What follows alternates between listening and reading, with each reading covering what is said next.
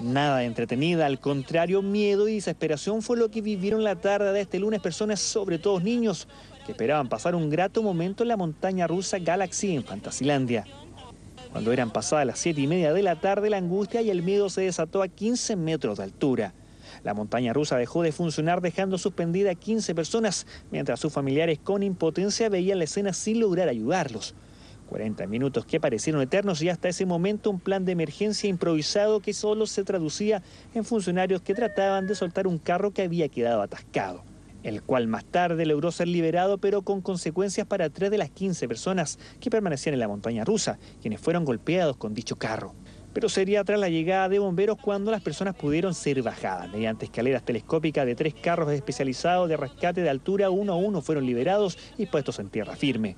Dentro de los lesionados, todos de carácter leve, hubo una joven identificada como Karen Soto de 22 años, quien resultó con esquince cervical y fue trasladada hasta el Hospital del Trabajador. Aplicamos provisión de funcionamiento al equipo, exclusivamente al equipo. La empresa no, aún no tiene claro cuáles son em, las eh, causales que provocaron dicho desperfecto en atención a ello. Como aún se está estudiando eh, la situación desde el punto de vista técnico, hemos considerado que existe un riesgo inminente para la seguridad y salud del público asistente.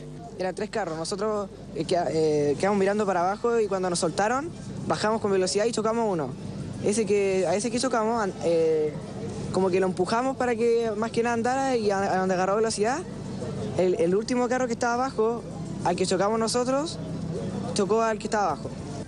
Un accidente que trae el recuerdo de hace prácticamente un año atrás cuando en el mismo centro de entretención falleció una joven de 19 años de edad mientras se encontraba sobre el juego Boomerang, una montaña rusa extrema. En la ocasión la joven se desvaneció y posteriormente falleció producto de una falla cardíaca. En la ocasión familiares denunciaron negligencia por parte del recinto, esto por la demora en la atención de la emergencia. Y esta vez algo parecido reclaman y en tela de juicio se pone el protocolo aplicado si es que hubo alguno. Aquí deben haber estándares y deben haber normas que sean eh, clarificadoras para las empresas de cómo actuar frente a un incidente. Y creo que ahí estamos con una debilidad importante. Un ejemplo muy simple.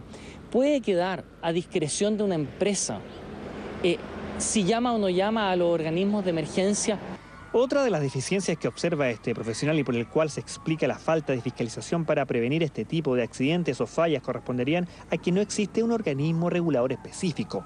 Si bien está en manos de la Seremi de Salud, esto debería ser competencia de los municipios como ocurre en otros países. ¿Hasta dónde es eficiente que una autoridad regional sea la que fiscalice, principalmente considerando la extensión del territorio y la gran variedad de fiscalizaciones que se debe hacer?